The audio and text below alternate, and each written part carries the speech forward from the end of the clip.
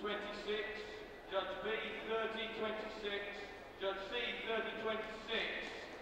The winner therefore, the blue corner, is the